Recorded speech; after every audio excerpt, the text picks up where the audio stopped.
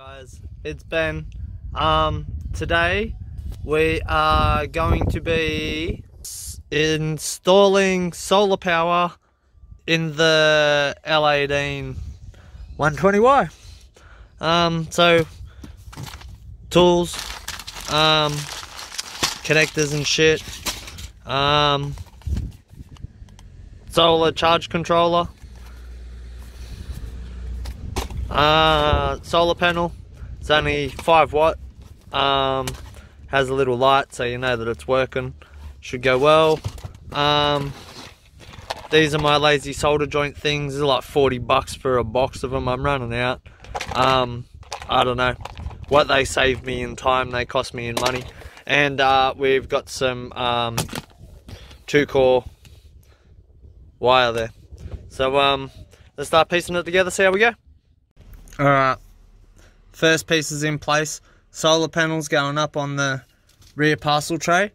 Um, I've just pushed the wires through a hole down there and um, I'll probably move it up here later but um, for the moment it's fine there um, in between my 6x9s. So, alright, into the boot. Alright, so now that I've um, found my keys were in the boot, we got to hook this thing up. It's pretty simple. There's like the, this one's a solar panel, positive, negative, goes there and there. It's just got me thinking. Um, I I don't know what the fuck's positive and negative. These wires on the solar panel aren't really marked, so I'm gonna have a quick look and um, we'll wire this thing in.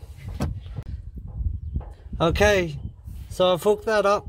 Um, the lights have all come on. The green light's flashing. The red light's like flashing a bit harder than the the green one. I don't know if you can tell. Anyway, so um, the the chart the panel black and white and a solid black. So I went the solid black as the negative and um, seemed to work so far.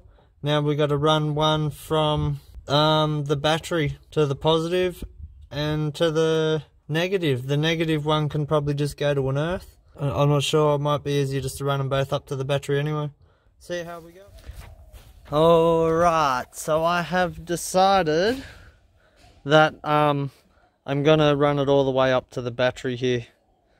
Um, and have the have one go to this side, one go to that side, and go all the way back to that solar charge controller. And um, it, I just got to follow this wire here pretty much. So we're just gonna follow that and um, run our new cable.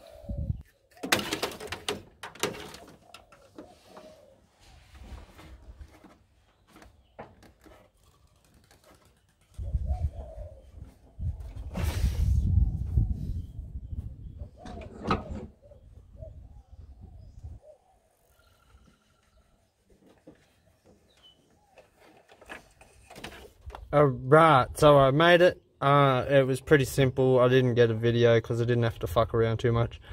Um, now I'm going to plug this in here and connect it to the battery. Alright, so that's connected up here. Then it comes round into the boot. And then this thing here.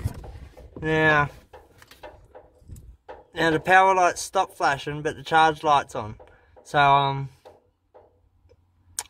I I think that's a good sign. I think that means it's charging. Hopefully, someone who knows something about solar will leave a comment and tell me if I did this all right or not. But um, nothing's burnt out. As long as the car still starts, I'm happy. Alright, so as far as I can tell, that's it. Um, my voltage meter down here, it says 12.8. But like, I think it said that before anyway. So um, I think while the battery's full, that thing's not going to do a lot. But if the battery drops, it will keep it up, hopefully. So um, I guess I could run fans and lights and things and that without the motor running.